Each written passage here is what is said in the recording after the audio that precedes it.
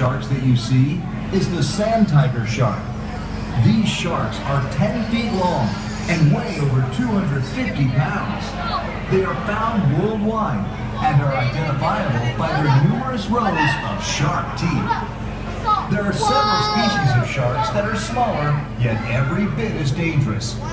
The Pacific white-tip shark is easily oh identifiable by the white tip on the dorsal fin.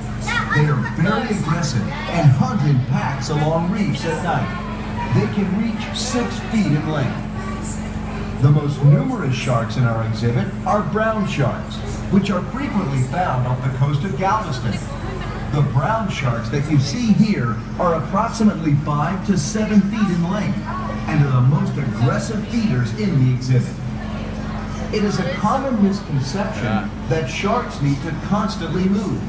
However, you may notice several sharks resting on the bottom of the exhibit. They are nurse sharks and the beautifully marked Australian zebra shark, both of which spend the majority of their time on the ocean floor. They can reach up to 10 feet in length and weigh over 200 pounds. The most unusual and rare animal located in the tank above you is the sawfish. It is a ray, not a shark, and can reach over 20 feet in length, Yeah, weighing over 350 pounds. It's right over The there. It's sawfish right there. uses its teeth saw to Oh, kill wow, its prey. It is now considered endangered internationally. No, it's right And there, back there. Look. Is proud to be working on partnerships with Australian scientists to help save the sawfish. Animals in the exhibit are fed three to four times a week. Divers routinely go into the tank for maintenance, but we never feed our sharks while divers are in the water. It would be far too dangerous.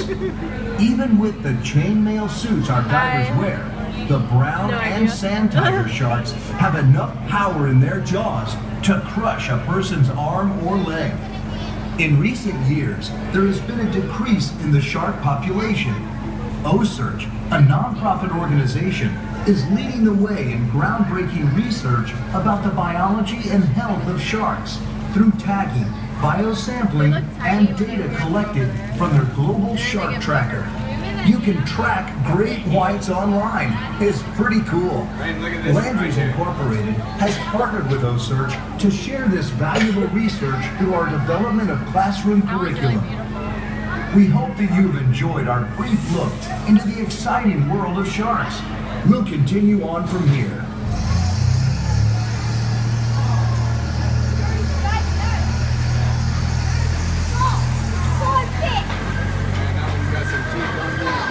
Sharks are fascinating animals. It is amazing how adaptive they are.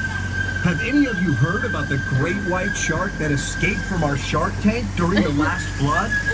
Our scientific staff has searched the entire Gulf of Mexico trying to recapture it.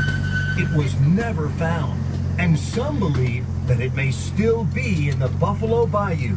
So keep a lookout as we travel through the park. I'm so into like whatever. The Downtown Aquarium project was conceived